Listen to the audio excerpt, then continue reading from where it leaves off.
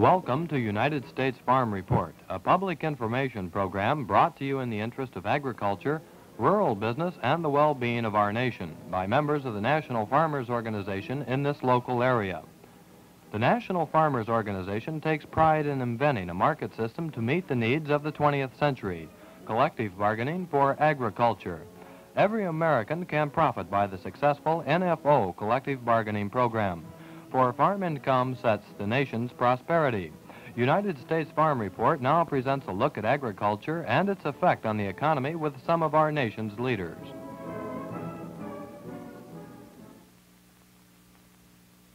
Welcome to another edition of U.S. Farm Report. U.S. Farm Report is brought to you by the members of the National Farmers Organization in this TV listing area. Uh, I'm uh, Ed Shima from Iowa County, Iowa, and on today's U.S. Farm Report program, we have Mr. Roy Atkinson, who is president of the Canadian National Farmers Union. We're certainly honored to have you on today's program, uh, Mr. Atkinson, and uh, uh, I uh, sort of hesitate to tell the folks where you're from because I really can't pronounce it. Would you mind telling the folks where you're from and so on? Not at all, Ed. I'm delighted to be here. I'm from Saskatoon, Saskatchewan. I almost had a little trouble myself. You see why I couldn't do it. And uh, I'm a grain farmer up there. Uh, I operate uh, a grain farm. We grow all kinds of cereal grains. And I'm also president of the National Farmers Union. Uh, recently, uh, Mr. Atkinson was to the National Farmers Organization convention at Louisville, Kentucky, where there were over 12,000 delegates. Uh, he uh, spoke to the convention, had some very interesting points to make, and uh, we felt that you would be interested in some of these observations of Mr. Atkinson, uh, being a Canadian farmer. Uh, what are some of the problems of the Canadian farmers as you see it, Mr. Atkinson? You know, your organization and our organization defines the problem precisely, the result of new technology, uh, science, uh, etc. And there's a, a conflict. The, the real issue is a conflict between the farmer and his farm and the demands of the industrial sector, which are manifested by Ralston Purina and others. Uh, the uh, Canadian farmers, of course, uh, I assume have a little bit of a problem of pricing, just as uh, U.S. farmers do. Uh, our our uh, farm situation is such that parity is uh, currently at about 73 percent, and uh, this is uh, way too low. And do you have a comparable scale you base your uh, income on, or not? Yes, we do. And uh, uh, we're just in the same boat you're in, Ed. Uh, our prices are way down. They've been going down now since 1952 our farmers in a very difficult income position, uh, and those people that are supplying us with goods and services are making bigger and better profits every year, and we think the time has come to bargain collectively with these birds and getting a little of our own back. Now, uh, as far as your organization is concerned, uh, what has been your uh, primary uh, aims up to this point? Uh, what have you been doing about this? Well, our primary aims uh, to this point uh, uh, have been to alert the farmer as to the nature of his problem, to organize him into a, a large organization, to bargain collectively for him in the legislation, legislatures of the country, to form uh, collective bargaining agencies uh, that will bargain on his behalf. But I must confess that we've been like Alice in Wonderland. We've been running as fast as we can to stay where we are. Uh, and I think the, the reason for this is that Canadian farmers and American farmers have not been working with one another nearly as closely as they ought to have been, and we find ourselves from time to time being undercut by the behavior of those people who buy the products that we produce and then manage the market by dumping products in either down here or up there. Uh, in, in, other words, uh, it's a situation that one country alone possibly can't handle. It uh, takes more cooperation than uh, or cooperation between countries almost to do it. That is absolutely correct. Uh, these large-scale international corporations know no boundaries. They know no state boundaries or the 49th parallel doesn't mean a thing. That's the line between your country and mine, and we just have to work together and play the game the way they do. Mm-hmm. Now, uh, I know that uh, that uh, President Staley of the National Farmers Organization was uh, to Canada some time ago and spoke to your group. And uh, in your exchange uh, back and forth, uh, what are some of the things that uh, you feel we might have in common or that we could work on together? Well, we discussed, and I was very pleased to have President Staley come up to Canada to tell our farmers what you people have been doing down here with regard to bargaining for prices of farm commodities, uh, to tell them uh, in a general way what you hope to do, and uh, he has uh, made a great impression on our people, and I think as a result of that visit, uh, Canadian farmers are going to be much more actively engaged in protecting the interests of their own farm business than they have been heretofore.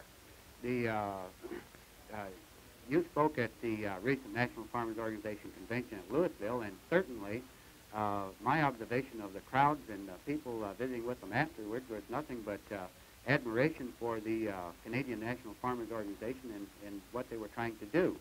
Now, at this point, the National Farmers Organization has been real active in collective bargaining and working out supply contracts with the various processors and so on for a better price.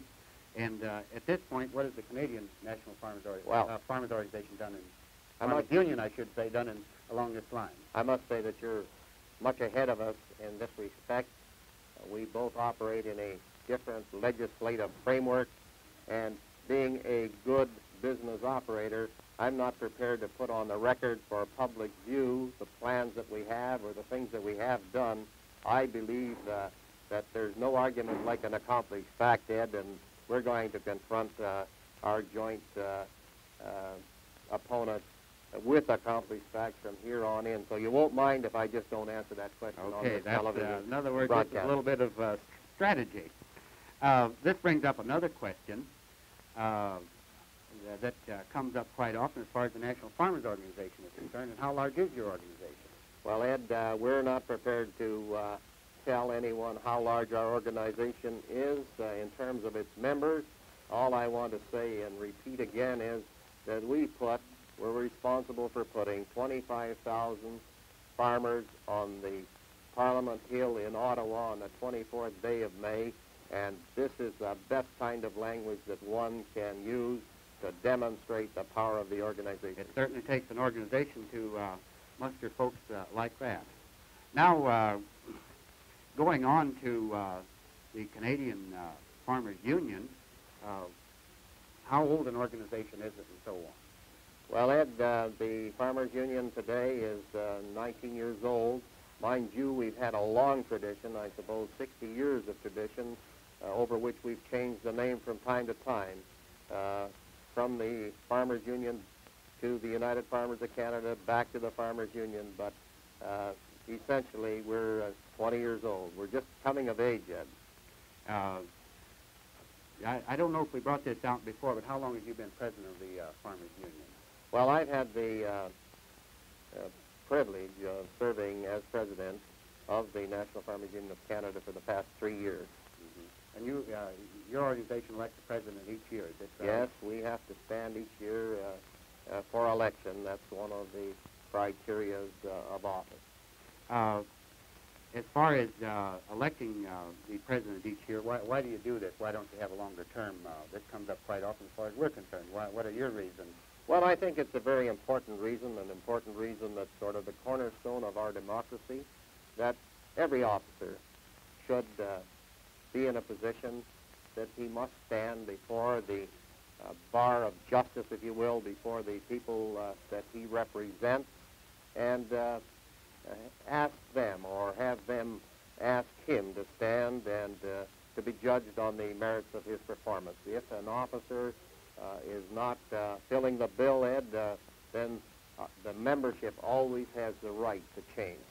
Well, that is real good, and it's a result, it keeps the control of the organization in the members' hands real close, and nobody can get a get too far out of line that way. Then, Well, that's, that's true, and that's terribly important.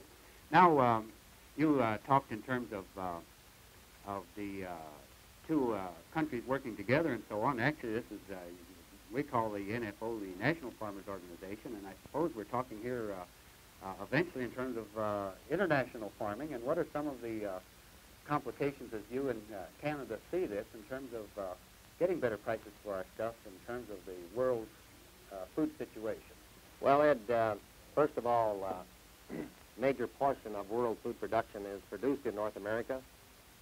Uh, North Americans, uh, therefore, have the opportunity in the areas in which they market uh, food products, that is the industrially developed areas of the world, to bargain collectively for fair prices. And in terms of our two organizations, let me say this. Until recently, until we have made contact with the National Farmers Organization of the United States, uh, we knew what to do. But until we could see that there was a group somewhere in North America that felt as we did, there wasn't really an opportunity to do it, and that is to bargain for all commodities at a proper price a relationship in order that we overcome the problem that we have experienced in the past where our country may dump or move low-priced commodities into your areas where you're bargaining for prices and break your markets, or conversely, uh, where your commodities would move into our areas and break our prices. For example, I'll give you a very uh, vivid description of what's just happened recently, uh, and very few, uh, very small volume of product moving into Canada, and that was turkeys. Eight to ten thousand turkeys a week moving in from the U.S. just collapsed our turkey market in Canada, and our turkey producers are in real difficult circumstances. But I want to make uh, this point, that the people who supply the feed that fed those turkeys, they're going to get their bills paid. Yeah, in other words, uh, they'll come out and uh, on this, and uh, I guess the main reason that they'll come out on this is because they're pretty well uh, organized as far as the pricing structure is concerned, and uh, certainly they're not going to, uh, being good business people, they're not going to sell that feed at a loss. That's right. They have lots of security before they take any risk, Mhm. and the farmer takes that security. Now, uh, we've uh, run into this just a little bit in the United States. Uh, the uh, NFO some time ago had uh, a holding action uh, on uh, meat products, uh, meat animals, and uh, and uh, we run into a situation where uh, we were doing a good job in areas here at home in the United States, but here uh, came in Canadian meat. Well, well, Ed, uh, that's a very serious question that, that you've just raised, but I want to again raise this business of international business organization. Uh, uh, we have a company up there called Swifts Canadian. Do you have Swifts down here? Yes, we do. Well, uh, it may. And are they your friends, or do you bargain with Uh, them? we are working with Swifts in some areas. Right. I think we'll have to work with them in more areas because I have a hunch that maybe some of that meat was brought in by uh, maybe they or their friends. Mm-hmm. And of course, you know what happens. Uh, these outfits do, do not bring that meat into your area, and uh, for the purposes of losing on uh, on the transaction, they bring it in for a margin, and they're going to get paid. But they really foul up your situation. Yes.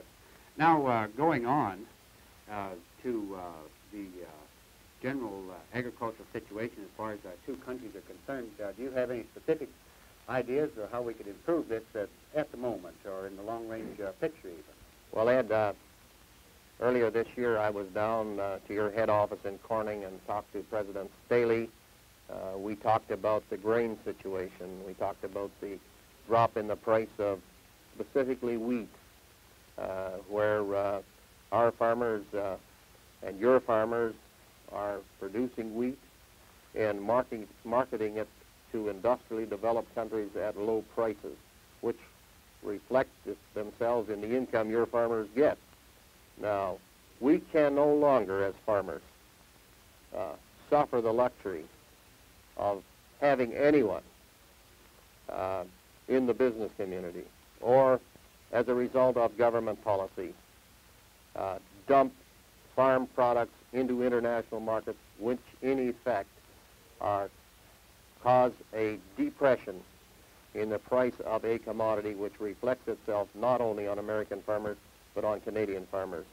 Because if we continue this behavior, uh, as far as that is concerned, either American farmers or Canadian farmers, and in this instance, Canadian farmers, we're not going to be closed out of the market. We're going to follow you down, and we're not going to sell any more grain in that international market.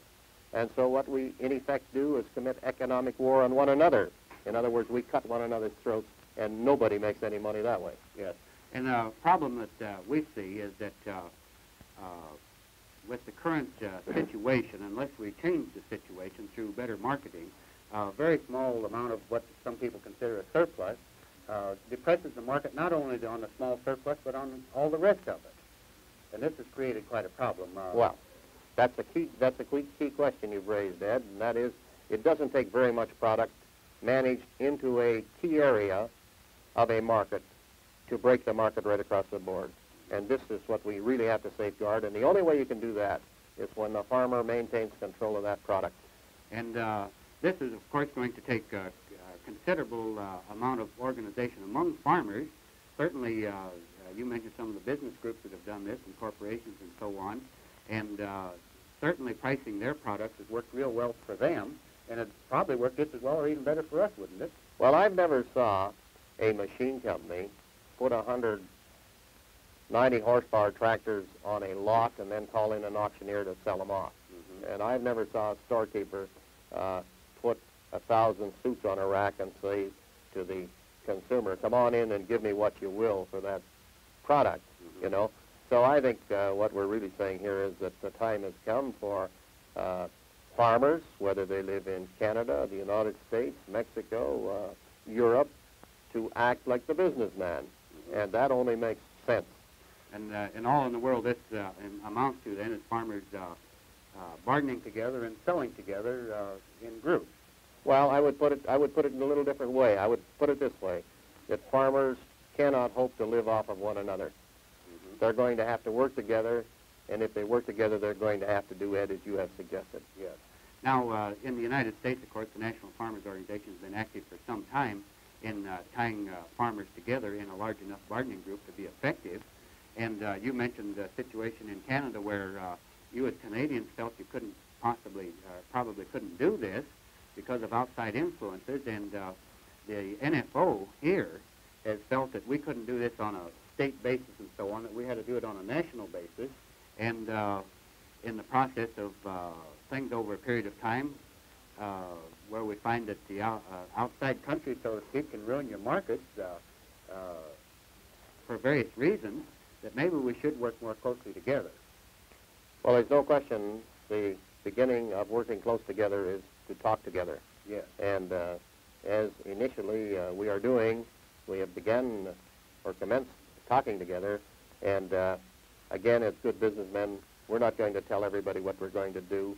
Uh, we'll cross, the, cross that bridge when we come to it, Ed, Yes. and we'll show them rather than talk about it. Okay, that uh, that that is real good, and we certainly uh, uh, know that uh, an organization that takes this attitude, that is going to uh, work aggressively on something, is probably going to make quite a few accomplishments.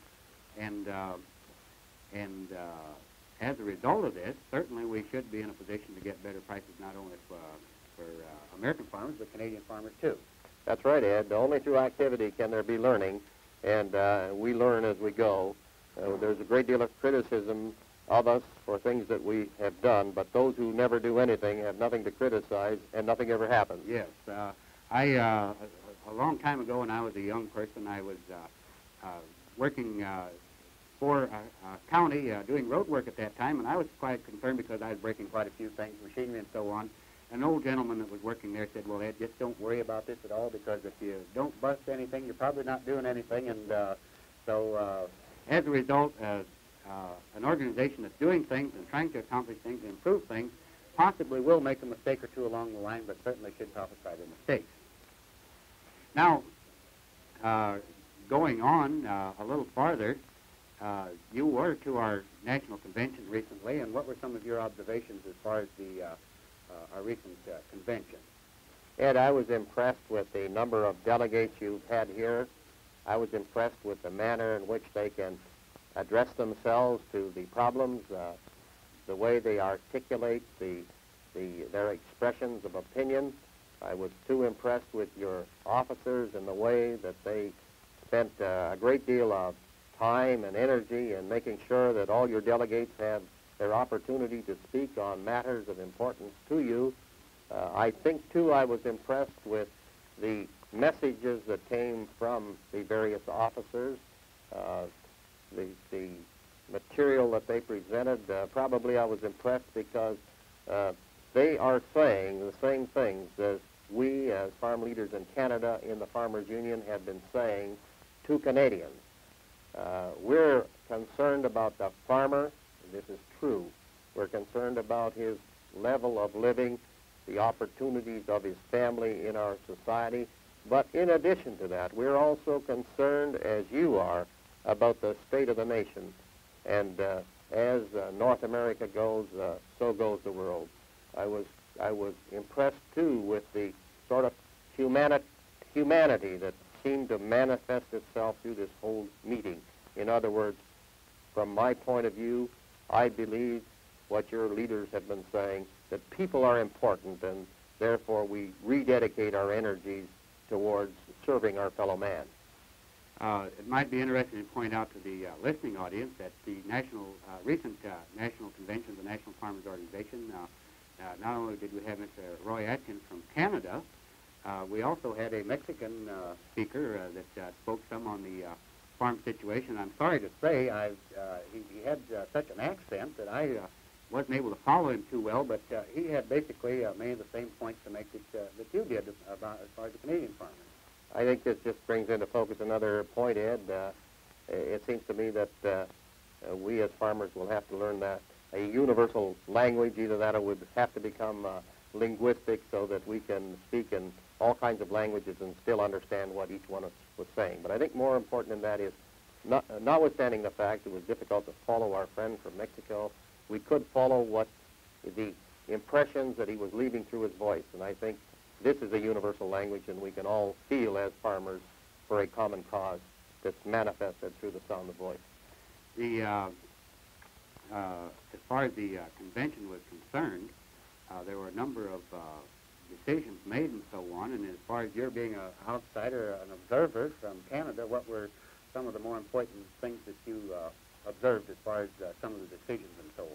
Well, I think, for example, the uh, amendments to the Constitution, which modernizes it, gives you, gives you the needed flexibility to meet the challenges of the industrial sector or the legislative sector, uh, were terribly important.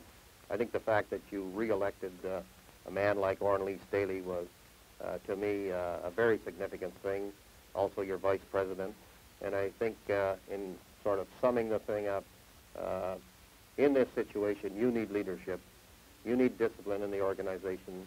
And uh, with the actions that I've uh, observed during the last day or two, you've got all these things. The whole decision, of course, remains in terms of the farmer in the country. Your leaders are prepared to do something. Are you prepared to give equally with them? Uh, this is uh, one thing that uh, we're working hard at as far as the National Farmers Organization is concerned, is to build a strong marketing organization and also to, uh, through uh, programs like you're watching today, to uh, bring to you some of the things that we're trying to do and how we're trying to do them. And certainly this is a big job, and, and regardless of whether you're a farmer in uh, western United States or eastern United States or somewhere in between, we certainly think that uh, you should think seriously in terms of uh, doing more about marketing, to do a better job of marketing, and uh, in terms of uh, not only raising your prices uh, for your own uh, farming operation, but to help out agriculture as a whole in the United States. And uh, I guess as we look deeper and deeper into this, not only to help agriculture in the United States, but to help agriculture in Canada and probably throughout the world. Now, uh, looking at the world situation, Mr. Atkinson, we have uh, a lot of countries that uh, aren't very developed uh, agriculturally, and uh, it seems in looking at this, probably one of the prime reasons for this is because uh, the farmers simply aren't paid very much in these countries. I'm thinking particularly of India as an example. Certainly there's a demand for food, but yet the farmers are in a poor situation. Have you had any particular observations on this? Well, I, would say in terms of developing countries, uh, they suffer a number of problems. A, um, they're trying to move into the second half of the 20th century with great handicaps, uh, and insufficient time is being spent uh, with the farmers in those countries in transferring our skills from ourselves to them so that they can produce the commodities that will naturally grow in their countries. I think the other thing that one must say, in terms of my own country, and I can only speak for it, uh, we have some programs going. I don't think sufficient emphasis is being placed upon prices of commodities in the world at levels that do not uh, adversely affect major commodities being produced in such countries as India, Ghana, Nigeria, uh, all other kinds of countries in the world. Uh, because when we injuriously affect a market situation of major commodities, grain for example, this immediate injury is reflected into the price of coffee, uh, cocoa beans, sugar, and inasmuch as it injuriously affects uh, these commodities price-wise, it also injuriously affects the ability of those developing nations to earn currency with which to A, reinvest in their country for industrial development or agricultural development, or B, buy the products that we have that they so desperately need. And uh, what it amounts to then is the uh, uh, United States and Canadian farmers uh, uh, would uh, raise their general price level. Then you would also help the farmers throughout the world theoretically. That's not even theoretical, Ed. That's a practical proposition. Mm-hmm. And until we possess the wisdom to work together towards this objective, to the degree that we undercut these nations in terms of low-priced commodities, we injuriously affect their ability to develop, and also we destroy some of the investment power that we have invested by way of capital or other things in their country and injuriously affect that investment's ability to earn for those countries and to that effect and to that extent we injuriously affect world development. Mm-hmm. Now, uh, going to a little different subject here, Mr. Atkinson. Now, uh, there's been some concern by some people that if we uh, uh, raise the prices of the food in the United States, that this would raise the price to the consumer and uh, and uh, so on. Now, we feel that uh, a small raise to the farmer wouldn't raise the price to the consumer very much. It would a little bit, but not very much. And well, being a good businessman, they all go to the consumer to get their uh, better income. And certainly uh, farmers uh, should do the same thing. And uh, have you had any particular problem with this in Canada? Well, uh, this is the sort of thing the establishment uh, tells us uh, and gives us as gratuitous advice. But I would hasten to add, Ed, that we want to look at the total price of the food package and say that the farm component as a total percentage of food costs is very low. As a matter of fact, it takes less hours of work today to earn sufficient income to pay the food basket than ever in the history of man. And uh, so this is not really a valid uh, uh, objection. Uh, therefore, uh, I see no reason why uh, the farm component ought to be increased. And as a matter of fact, the farmers being major users of goods and services that are provided by other sectors of our economy, to this extent, it would add to and aid economic growth in the total economy, something that each of the developing nations and the underdeveloped nations are striving for because gross national product determines your standard of living. Uh, going on to another subject, our time is uh, coming to a close, but just briefly, uh, in the United States, we see a situation that uh, where farmers uh, are squeezed off of the land for the various reasons, that uh, we are having a creating sort of a vacuum here. And uh, certainly somebody needs to farm this land to feed the population. But uh, it's a situation where farmers can't reinvest in it because of the price situation. And you have uh, uh, a situation where you have corporate agriculture coming in. Do you have this problem in Canada? Very definitely we do. And the reason for it is that corporations are making profits of such magnitude. They are looking for areas to reinvest these profits. And they have a investment advantage that we do not possess. But I would like to go further and say that we do have this transmigration of people from the farms to cities in Canada, uh, and uh, our projection is that by 1980, 80% uh, of Canadians will live in cities, and 70% of those will live in three major cities, which are going, and this transmigration of people is going to create major problems for Canada. We've been visiting with Mr. Roy Atkinson. Uh, we appreciate your being on the program, uh, President of the Canadian uh, uh National Farmers Union, and uh, we would appreciate if you that are farmers that have not yet joined the NFO, you check farther into the NFO and market and sell through the NFO, and together we can build a strong marketing structure that will benefit all of us. Thank you.